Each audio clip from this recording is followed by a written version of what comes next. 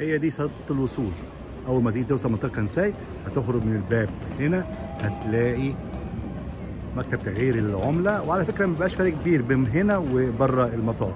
فممكن تغير مبلغ صغير عشان تقدر تاخد مواصلات لغاية آه وسط البلد. آه المطار بقى زحمة شوية مش زي الأول.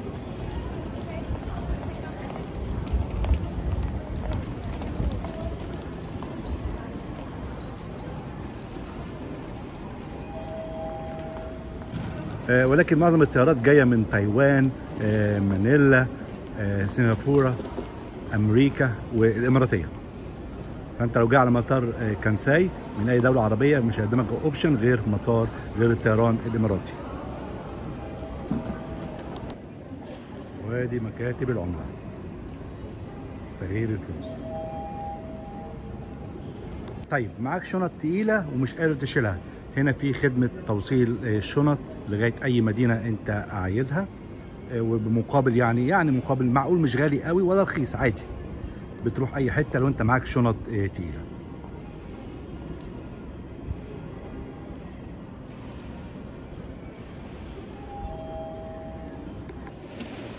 هتلاقي هنا اللي هو ال ATM machine مكان سحب الفلوس لو محتاج تسحب لو معاك credit card ومحتاج تسحب فلوس.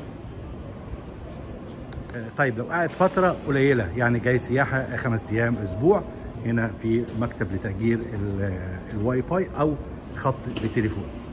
فده بيعتبر برضو إيه option ليك. لو أنت مستعجل أو محتاج تليفون ضروري فممكن تأجر هنا وبترجعه هنا برضو تاني مفيش مشكلة.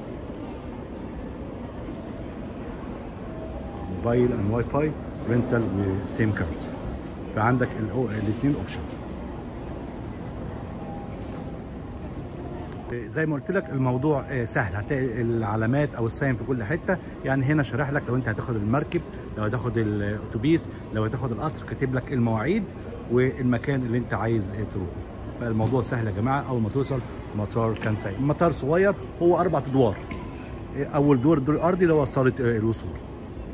توصل مطار كانساي هتلاقي أول لوسن تشوفه في اليابان. طبعا اللوسن ده يكون زي السوبر ماركت الصغير موجود في كل حتة في اليابان. أول واحدة هتشوفها أول ما توصل هيبقى موجود هنا في المطار. في خدمه اللي أنت ممكن هنا في SIM card لو عايز تشتريه بس بيبقى غالي شوية.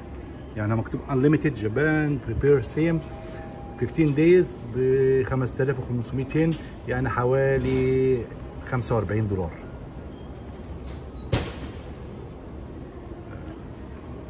ممكن لو عايز تشتري بتشتري من هنا بال credit card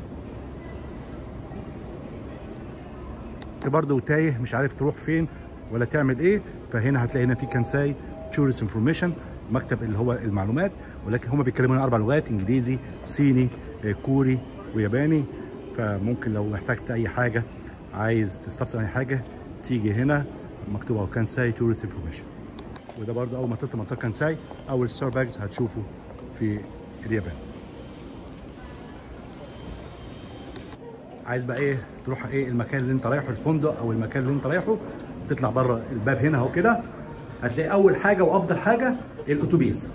الاتوبيس بيروح معظم آه المناطق في منطقة آه كانساي. أنا عايز اوريكم خريطه الاتوبيس بيروح فين؟ فده أفضل اختيار ليك الاتوبيس. بيبقى عارف تطلع من بره المطار من الباب هتلاقيه في وشك. هي دي محطات الاتوبيس. هوريكم بيروح فين ورقم المحطة. دي الخريطة بتاعت الأتوبيس. محطات الأتوبيس بيروح فين؟ يعني مثلا لو أنت رايح منطقة اماكازاكي رقم أربعة لو أنت رايح أوساكا رقم خمسة لو أنت رايح كوبي رقم ستة ولو أنت رايح بعيد أوكاياما رقم 11 إيه تاني؟ لو أنت رايح نارا رقم تسعة. فده يعني أول اختيار ليك. لو أنت رايح منطقة من المناطق ديت جنب محطة اتوبيس ده أفضل اختيار ليك. هو ده الأتوبيس. أنا بس عايز أوريكم شكله عامل إزاي. ده رايح محطة أوساكا. بياخد حوالي ساعة من هنا لغاية أوساكا. وبتحط شنطك عادي مفيش أي مشكلة.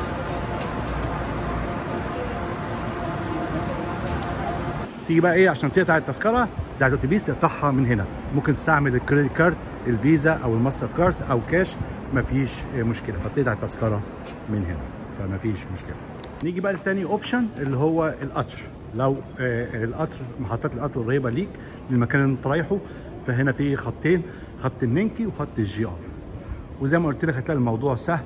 هتلاقي ال- ال sign في كل حتة. هتكتب لك أهو القطر قدام.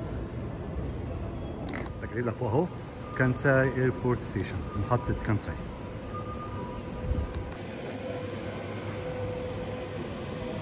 البرتقاني دوت ده خط النانكاي بيروح أوساكا وال JR اللي هناك دوت اللبني بيروح برضه أوساكا.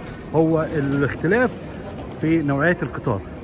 القطار بتاع النانكاي يعني إيه شكله حلو شوية ولكن طبعا التذكرة مختلفة السعر آه، مختلف. هي دي محطة آه، كانساي بتاعة القطر.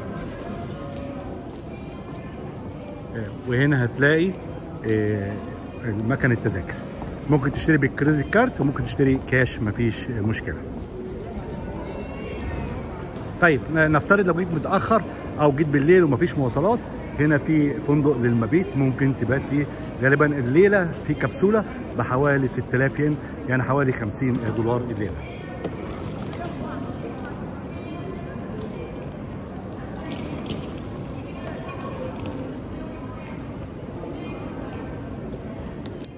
عامل لك حتى الخريطة القطر بيمشي إزاي بتاع ال JR بيروح فين وممكن تغير يعني ممكن تروح اوساكا كيوتو الموضوع سهل يعني مش صعب هو ال sign أو ال- الإرشادات